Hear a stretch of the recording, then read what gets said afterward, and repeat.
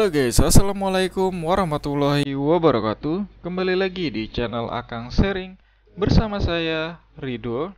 Kali ini saya akan men-sharing firmware terbaru untuk Android televisi TCL berbasis R851T02 di mana firmware ini digunakan untuk beberapa televisi TCL yang kalian bisa lihat di sini ada A6, A8, A10, C715, C716 dan kawan-kawannya. Kemudian di EP640 dan kawan-kawannya. K61, P615, P715, P717, P8M, US kemudian Q800, X10 dan X815 jadi televisi yang sudah menggunakan basis R851 T02 ini sudah mendapatkan update terbaru yaitu versi ini. Versi 718. Kalian bisa cek di blog Akang Sharing yang saya rilis pada tanggal 27 November ini. Kalian bisa lihat ya, di sini ada yang namanya belakangnya RU nih.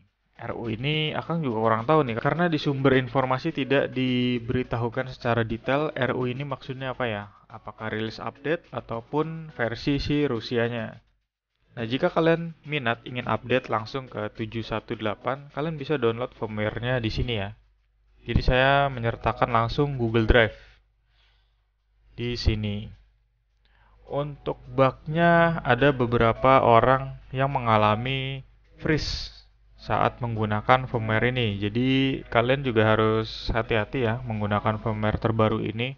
Apakah nantinya lebih lancar jika kalian menggunakan ataupun seperti beberapa user yang mengalami freeze. Jadi kalau memang tidak dirasa butuh-butuh banget update firmware ya stay aja di versi 715 seperti saya.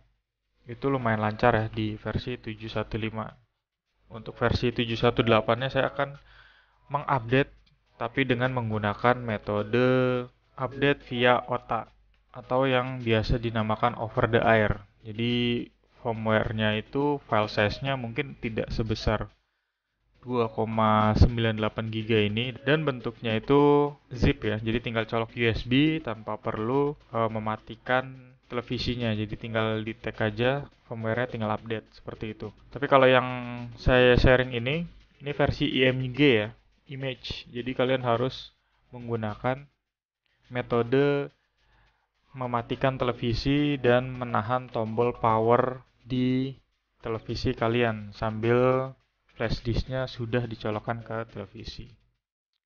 Oke, yang mau coba silahkan, yang nggak mau ya udah. Seperti saya tidak perlu buru-buru banget untuk update firmware-nya ya, karena fiturnya sama aja. Jadi nanti mungkin ada security update aja sih yang terbaru ya.